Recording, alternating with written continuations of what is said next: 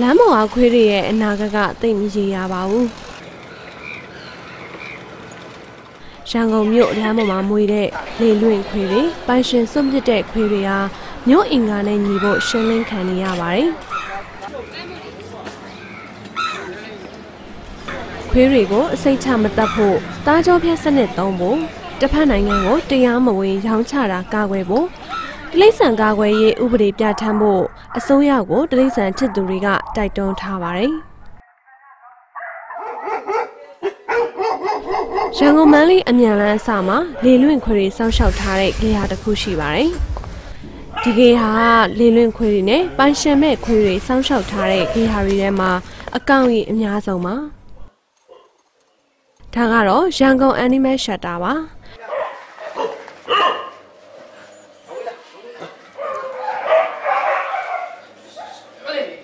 2012ခုတလပိုင်းကစပြီးတော့တည်ထောင်ခဲ့ပါတယ်။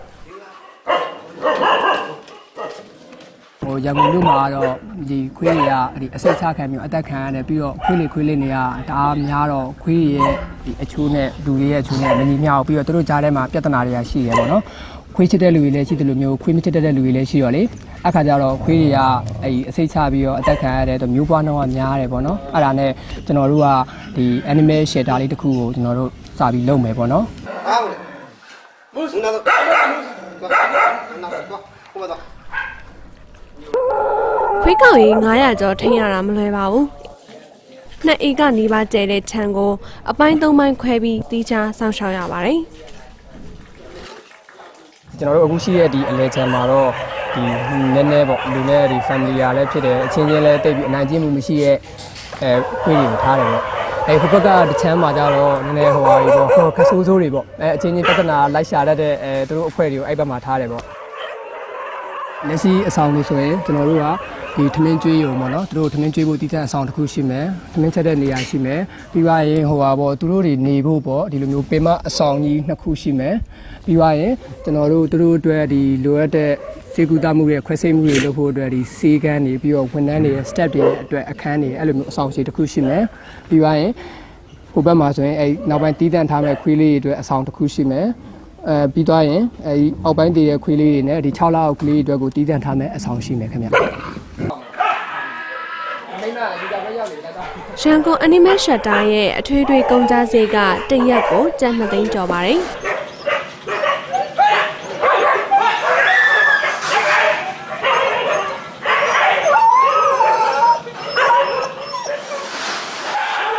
အစားအသောက်ချက်ပြုတ်တာ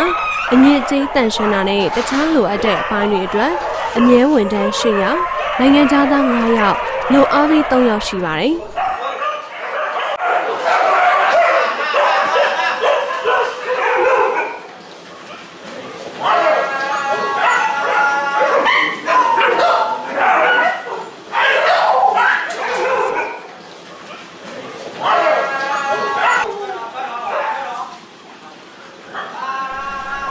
ကျော်မနှက်ညစားဖို့တရက်ကိုစံ3အိမ်အစာကြောက်4အိမ်ကုန်ပါတယ်။နှစ်နက်စာကျွေးဖို့တနေကုန်ချက်ရတာပါဟုတ်တယ်ပြောနေကြတော့သူတို့အဲ drive thru အစားကြောက်ပါနေကြသူတို့မတိကြတော့လေတိတ်မစားကြဘူးနောက်ပိုင်းကျတော့ဒါပဲစားရရှိဒါပဲစားကြတော့ဘိုက်စားတော့လည်းစားရတော့ဒါသူတို့လည်းအများကြီးကောင်းလေအဲအစားကြောက်ကသူတို့လည်းလိုတဲ့ ဗီတာမင်ဓာတ်တွေအများကြီးပါတယ်တကယ်တော့အဲအစားကြောက်တစ်ခုနဲ့တော့လုံလောက်တယ်ဒီမှာတိတ်မတတ်နိုင်လို့ဟိုစားနဲ့ရောပြည့်ကျွေးတယ်။လေလွင့်ခွေးနဲ့ရောင်မို့ဖမ်းခံရတဲ့ခွေးတွေကရင်ဒီလိုစောင့်ရှောက်တဲ့ဂီဟာတွေလုပ်ဖြစ်ကြတာပါ။ရန်ကုန်မန်းလေးနှစ်ခုပေါင်းခွေးကြောင်စောင့်ရှောက်တဲ့ဂီဟာ9ခုလောက်ရှိပါတယ်။လေလွင့်ခွေးပြဿနာကအနောက်နိုင်ငံတွေမှာလည်းကြုံနေရပါတယ်။ American Dead Try မှာ 2013ခုနှစ်ကလေလွင့်ခွေးကောင်းရင်9000ကျောင်းသက်ဆိုင်ရာကဖြည့်ရှင်းဖို့နီလန်းရှာရပါတယ်။ရန်ကုန်မှာတော့လေလွင့်ခွေးကောင်းရင်တသိန်းကျော်ပါတယ်။ဒီဟာတချို့ကခွေးအသက်လက်ခံမှုရပ်ထားပါတယ်။အများစုကကိုယ်ပစံနဲ့လောက်ရတာဆိုတော့ကုန်ကြစီကိုရေရှည်တောင်းခံဖို့မလွယ်ပါဘူး။အသက်ရောက်လာတဲ့ခွေးတွေကိုပိုပြီးယူဆိုင်ရပါတယ်။ဆိုတော့သူတို့ရီရီရောက်လာပြီဆိုရင်ကျွန်တော်တို့ကဒီလိုမျိုးပေါ့ရှောင်းရင်းနေထဲမှာ အနည်းဆုံးတော့နှစ်ပတ်ကနေတစ်လအတွင်းထားတယ်အဲ့နှစ်ပတ်ကနေတစ်လအတွင်းဘာလို့ထားလဲဆိုတော့သူတို့မှာပြင်ပဘယ်လိုယောဂမျိုးတွေပါလာမလဲအဲ့ဒါကြီးကျွန်တော်မသိသေးဘူးစောင့်လဲကြည့်နေတယ်ပြီးသွားရင်ဒီသူတို့ရဲ့တဘာဝရာသူ့ကိုကျွန်တော်တို့ကအပြင်ကိုလွှတ်ပေးလိုက်မယ်ဆိုရင်ဒီငကိုရှိရဲ့လူနဲ့ငကိုရှိရဲ့ကောင်တွေနဲ့သူတို့နဲ့ဘယ်လိုမှအဆင်မပြေနိုင်ဘူးအဲ့တော့သူတို့ကြားထဲမှာဒီရောက်လာတဲ့ ကောင်ကခွေးရလဲသူ့ပတ်ဝန်းကျင်ရဲ့ဟာကိုဒီမျက်စိရဲမှာရင်လာမယ်ကျန်တဲ့လူတွေကကျန်တဲ့ကောင်တွေကလည်းသူ့ကိုတတိမထားမိတော့ဘူးအဲအဲ့ဒီအချိန်ပေးမယ်တစ်ချက်ပေါ့နော်ဒုတိယတစ်ချက်ကကျွန်တော်တို့ကသူတို့တစ်လလောက်စောင့်ကြည့်ရဲဆိုတာကကောက်ွယ်စီသူတို့ထိုးရမယ်ထိုးပြီးတဲ့အခါကျရင်ပြီးရင်ဘာယောဂမှမရှိဘူးစောင့်ကြည့်မယ်ပြီးသွားရင် fit fit သွားပြီဆိုတဲ့အခါကျမှကျွန်တော်တို့ကသူတို့ကိုလှောင်ပြင်ထုတ်ပေးတယ်ခွေးကောင်ရေးများလို့ဂေဟာတွေကိုမြို့စုံမှာစောက်ထားပါတယ်ဒါကရန်ကုန်တိုင်းလှဲကူက Paul Hut Animal Shelter ပါလောအားပေးလူငယ်တွေရဲ့အားနဲ့အဓိကလဲပတ်နေတာပါမြေဧက3.6ဧကရှိပါတယ်အမြဲတမ်းဝန်ထမ်းတွေလို့လူငယ်တွေတစ်ပတ်3ရက်လောက်အလှည့်ကျလုံအားပေးပါတယ်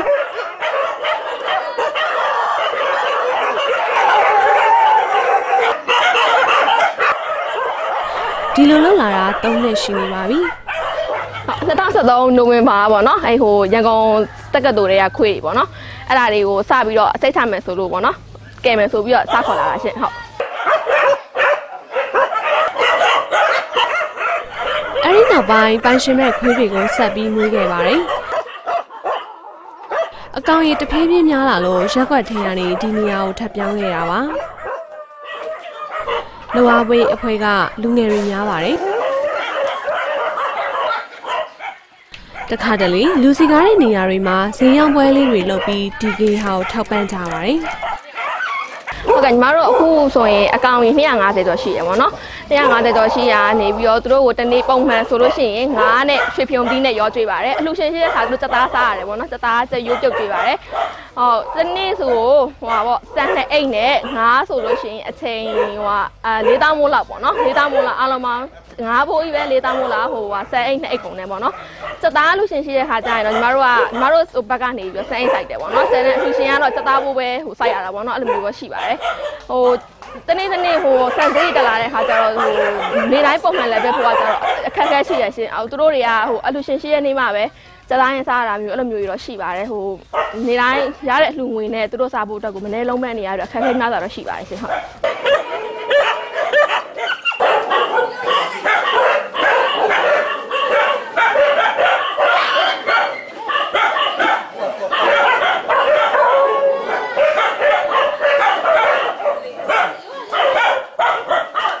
တအားလိုတဲ့ခါကျရင်တော့ညီမတို့ volunteer တွေကပေါ့နော်တစ်လက်တစ်ယောက်ကိုဘလောက်ဘလောက်အဲ့လိုမျိုး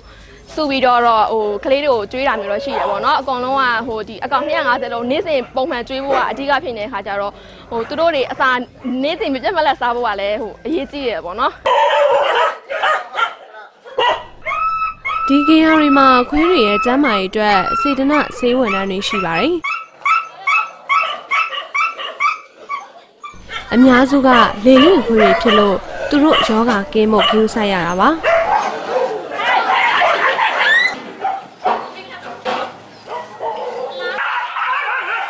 တာခွေစေးထိုးတာတားကြောဖြတ်တာဒါတွေကနေ့စဉ်ကုန်ကြစေထဲမှာမပါသေးပါဘူး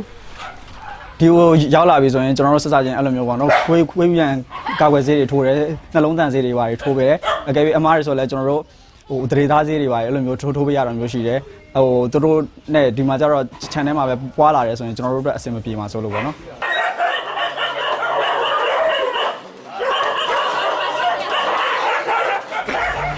သူတို့ရဲ့ကျမ်းမာရေးအနေနဲ့ကြတော့ကျွန်တော်တို့ဒီခြံအနောက်ဘက်မှာပေါ့နော်သူတို့အတွက်ကိုအဲ့လိုမိန်လာကျွင်းအနေနဲ့ကျွန်တော်တို့တူပေးထားတာမျိုးရှိတယ်အဲ့ဒီမှာသူတို့သွားစွန့်ပြီဆိုရင်ကျွန်တော်တို့တစ်ပတ်ကိုတစ်ခါလောက်ပေါ့နော်အဲ့လိုမျိုးပိုးသက်ဆေးတွေအမြဲတမ်းချစ်ချန်ထဲမှာအမြဲတမ်းဖြန်းပေးတယ်အဲ့လိုကျွန်တော်တို့အနေနဲ့ကြတော့တစ်ပတ်ကိုတစ်ခါပေါ့နော်အဲ့လိုမျိုးရေချိုးပေးတာမျိုးရှိတယ်တချို့ကြတော့လည်း အာအားတဲ့လူတွေပေါ့ဒီလိုမျိုးဂျားရက်တွေပါဒီမှာဆိုလဲ volunteer တွေလာတယ်ကျွန်တော်တို့ဒီပိတ်ရက်တွေပေါ့နေတိုင်းပေါ့နော်အားတဲ့လူကအဲ့လိုအားတဲ့ volunteer လာလာလာပြီးတော့အကုန်လုံးပေါ့အဆင်ပြေတဲ့ကောင်းလေးတွေဆိုရင်ကျွန်တော်တို့ရေ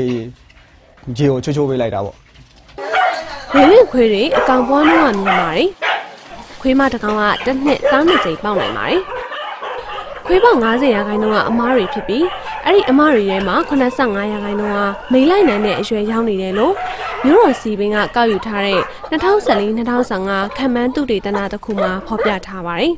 ။လေလွင့်ခွေလုံးဝမရှိအောင်ရှင်းဖို့မလွယ်သေးပါဘူး။ခွေချစ်သူတွေဟာအိမ်နီးချင်းနိုင်ငံတွေအတိုင်းတားကြောဖြတ်တဲ့စနစ်ကိုသုံးစိတ်ထင်ပါတယ်။တားကြောဖြတ်တဲ့စနစ်ကတစ်ကောင်ကိုတစ်တောင်းခွဲလောက်ကျပါတယ်။ကျမတို့တိကုဌာနအနေနဲ့2014-15ဘဏ္ဍာရေးနှစ်အတွင်းမှာ questioning ခဲ့တဲ့ဆောင်ရွက်ခဲ့တဲ့ကောင်ကြီးကတော့ 28,998ကောင်ဖြစ်ပါတယ်။ဒါကတော့ April လကနေစပြီးတော့2015 March လအထိဖြစ်ပါတယ်။2015 16ဘဏ္ဍာရေးနှစ်မှာတော့ကျမတို့ဒီ2015 April လကနေစပြီးတော့ December လကုန်ပြီဆိုလို့ရှိရင်တော့ကျမတို့19,000နဲ့489ကောင်ကျမတို့ရှင်းလင်းဆောင်ရွက်ခဲ့ပြီးဖြစ်ပါတယ်ရှင်။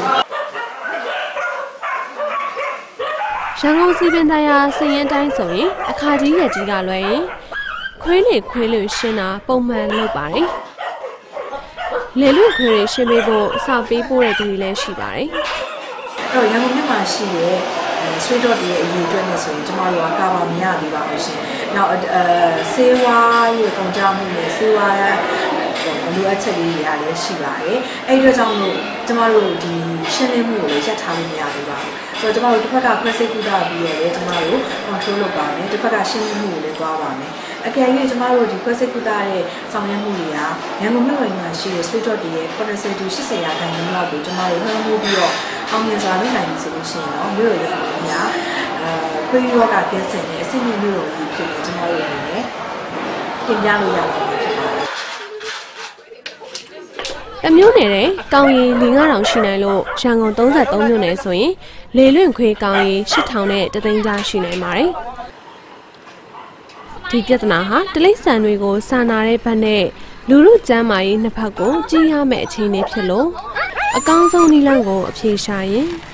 လေလွင့်ခွေးထိန်းချုပ်နိုင်အောင်စူးစမ်းရမှာပါရှင်။